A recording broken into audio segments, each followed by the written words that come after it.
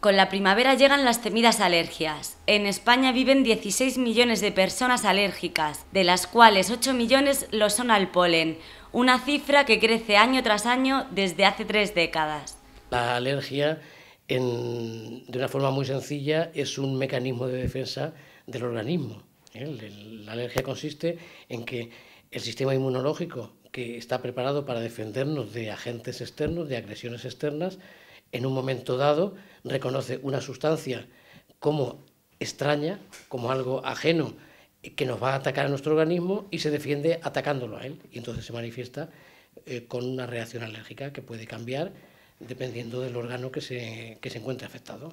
Los síntomas más habituales son estornudos, asma, molestias de ojos y nariz y el tratamiento más habitual los antihistamínicos o corticoides. Asimismo, como tratamiento preventivo se presenta la inmunoterapia. Por otro lado, la alergia cambia según cada zona geográfica. En Castilla-La Mancha o en la zona centro de España, eh, que es un clima continental con eh, temperaturas muy extremas, lo que predomina es la alergia a los polenes. Concretamente, en Ciudad Real, la alergia a las gramíneas es la principal, seguida por la alergia al, olivo. Hay alergias que están apareciendo, como la alergia a, a las cupresáceas, a los cipreses, la alergia al plátano de sombra, la alergia al polen de salsola. Y aunque los meses primaverales es cuando más aumentan los procesos alérgicos, en realidad existen durante todo el año.